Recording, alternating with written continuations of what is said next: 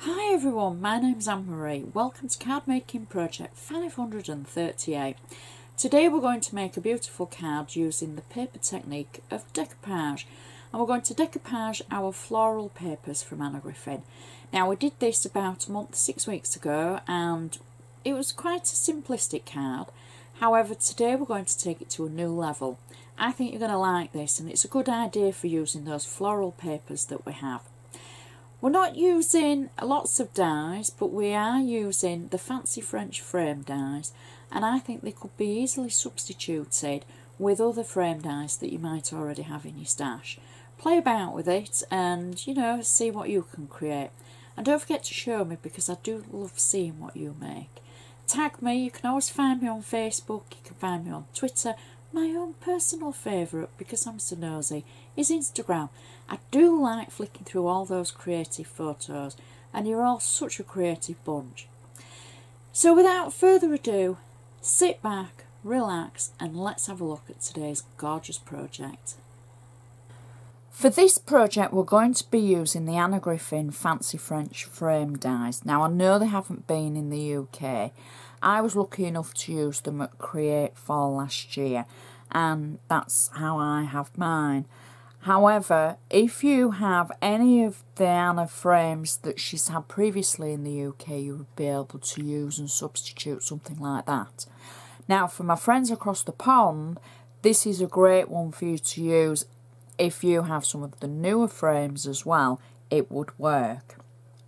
We're going to be using the larger of the square fancy French frames and we're going to be using the oval die in the middle, not the ornate die in the centre but with a plain oval. We're also going to be using the sentiment stamp and die set. We're going to be using one of the stamps from this set. This was a set that has dies to match the actual rubber stamps for the be able to layer them um, and use them as sentiments.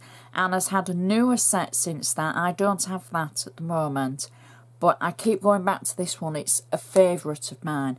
We're going to be using the Happy Birthday, my friend, for the middle. You don't have to use this. You might have different stamps that you prefer to use. Some of the other um, sentiments that Anna has, but th that's the one that we're going to use. It can be easily substituted. So we're going to make, I think this is um, a beauty of a card. And it's ideal for, there was um, a question sent in by Sharon a few weeks ago, it could be a couple of months now, about using paper and patterns from paper. This would answer her question again and give you ideas to use your pattern paper. I'm going to be using a 7 by 5 inch blank card. It's in ivory and I've already stamped on the back and added my name in the handmade by stamp. And I'm just simply going to use my bone folder to make sure that I've got a nice sharp score along the edge because then it will look more professional and it will stand up proud on the mantelpiece. So the first thing that we're going to do is the inside of the card.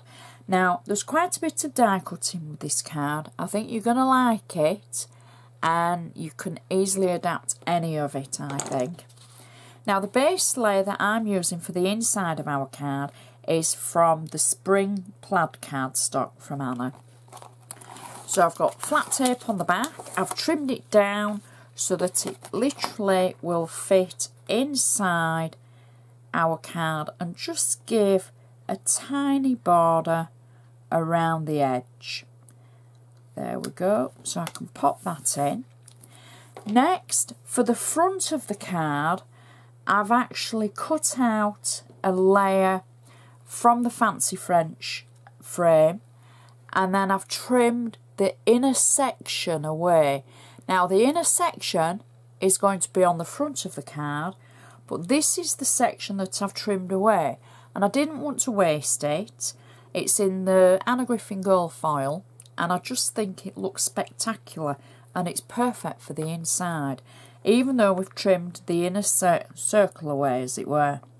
I've just got it on flat tape on the back, and I'm simply just going to pop it in the centre of our card. Watching that fold so that we can fold it still. and press it down. There we go. Now at home you would be able to add a little bit more glue than I have but it's only for time. I've got a little bit of tape on the back. So that's our frame layer.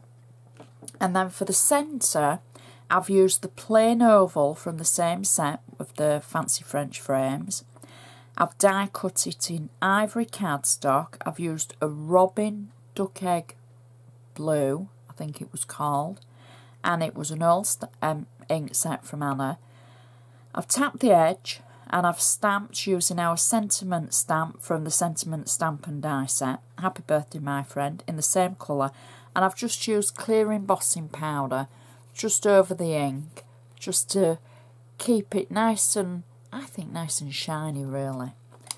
So I've got flat tape on the back that I can peel away and I'm going to position this just through the centre of our gold frame and that just works perfectly. There we go, and you've got a nice amount of room for a to and from for to the recipient. If you're going to write an essay, use a separate piece of paper. But you know, how pretty does that look? Going to work so well with the front. Now I'm just going to use my bone folder again on the front just to make sure that's a nice sharp crease along the edge. And the base for the front is the same from the plaid cardstock. And I've just die cut the centre out so that I can save that and use it for something else actually. Because you know I try to be frugal. There's some cards that you can't be frugal with. But this one you know I can save the inner bit of this one. And just peel the back of the tape away now this layer fits the entire card so I'm just going to turn the card slightly so I can see. And I'm just going to add it to the corner and across the edge and then down the side and hopefully that should be nice and straight. So that's our base layer for the card.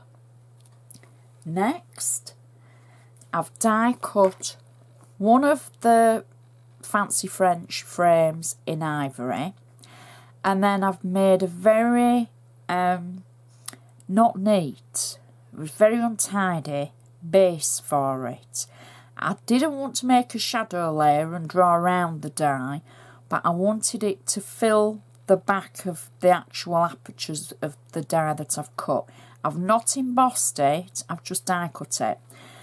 So I've cut it out out of the Anna Griffin metallic layers and you can see it's not really neat but it doesn't have to be because you can't see it. I've got 3D foam on the back of it and I've stuck it just on the back of the die cut and then I'm going to position this layer over the top of our plaid cardstock like so. Press it down. Our next layer is in the centre is an oval. Now I've taken a die cut of the Lila, one of the Lila papers, and I've used the large oval in the set from the Fancy French frames. I've just got this on flat tape and I'm going to position this hopefully roughly in the centre. And there we go.